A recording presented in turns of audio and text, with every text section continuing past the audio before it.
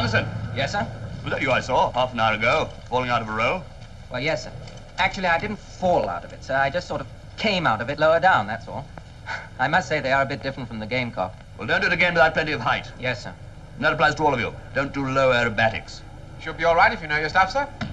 Two pilots have killed themselves in the last month doing low aerobatics. They knew their stuff.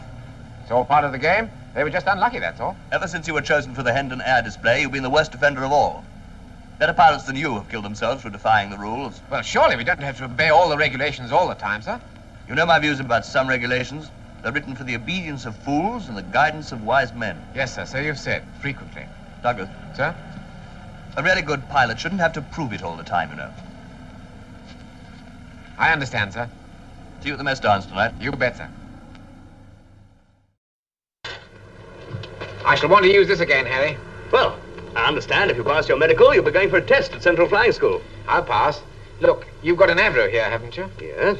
Hey, wait a minute. Well, I only want a bit of dual just to get the feel of it. Sorry. Dead against the rules, Douglas. The rules? They were written for the obedience of fools and the guidance of wise men. Remember?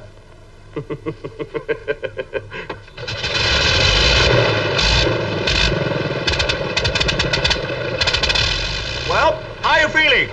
Fine. All set? All set. Blast! What's the matter? Bit of cramp, I think. Both wrists. Too much office work. you better take her, Douglas. Thanks, Harry. Hang on to your hat.